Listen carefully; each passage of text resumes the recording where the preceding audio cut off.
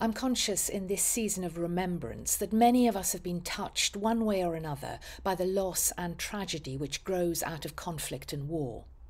A Christian understanding of remembrance doesn't look back to past events just for the sake of renewing old faded memories.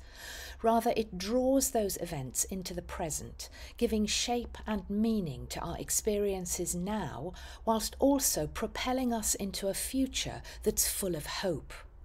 That's what Christians do week in and week out when we celebrate Holy Communion. We pull the past events of Jesus' death and resurrection into the here and now, where they influence our present reality and give us strength to build a better future in light of the hope we have in the promise of eternal life. While we recognise that war is sometimes unavoidable, we can choose not to be defined by it, but to be shaped instead by our determination to work for peace, striving always to bring good even out of the most evil of situations.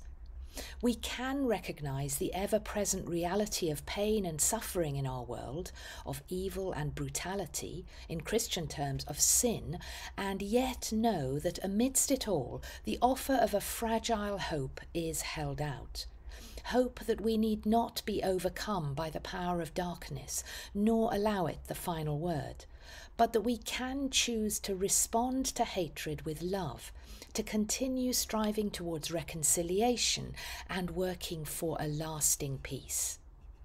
So we remember with thanksgiving the sacrifice of those who gave so much for the freedoms and the life that we enjoy, and we hold before God those who continue today to put themselves in danger for the sake of our safety.